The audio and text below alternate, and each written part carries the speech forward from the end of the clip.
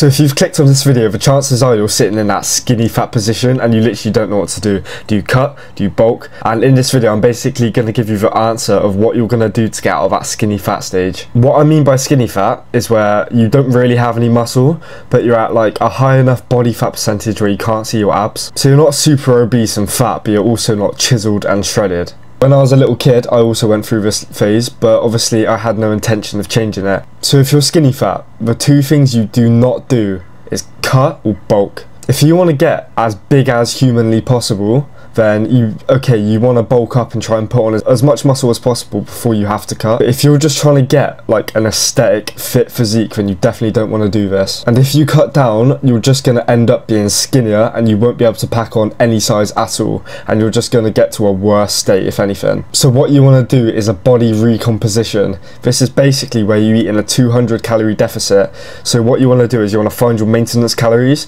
You can use TDEE calculator and I'll link it in the description basically what you want to do is you want to find your maintenance calories on that website.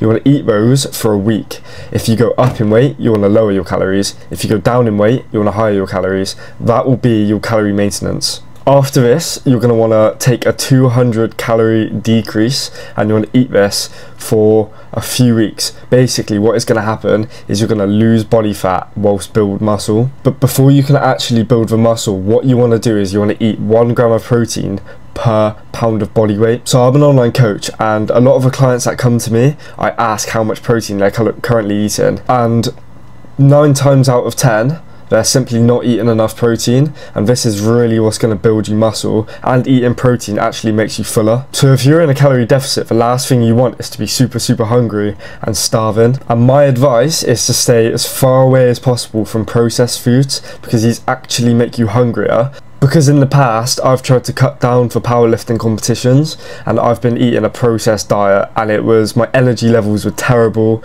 um, and like I genuinely just felt unhealthy and I found myself actually getting hungrier. So you want to be eating 70% clean, 30% dirty. You also don't want to restrict yourself and just eat salad and chicken and chicken, broccoli and rice because you're not going to keep this up. You're not going to enjoy that and the chances are you won't be able to eat that. You're going to snack. You're going to treat yourself to a meal out or chocolate. So what you should do is you should find the calories that you should be eating and fill those calories simply with foods you like as long as you get your protein goal in. On top of this, you want to be getting 4 to 5 litres of water a day and you want to have carbs before you work out and carbohydrates after you work out.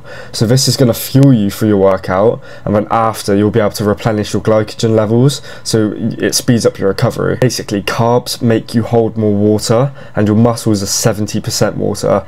So if you weigh a bit more or look a bit more fuller and you think you're not dropping body fat, that's completely wrong. You can be dropping body fat and on a different day you can weigh more than you did the week before because you'll simply be holding more carbs, more water and more sodium. So to, if you're in that skinny fat stage and you want to into an aesthetic body, which will just give you more confidence, you'll be able to get women easier, you'll be more confident taking the top off. If you go to a beach, you want to be shredded to the bone, you want to be jacked, you want to attract people. So what you want to do is do this recomposition, eat in a 200 calorie deficit, get a gram of protein per pound of body weight.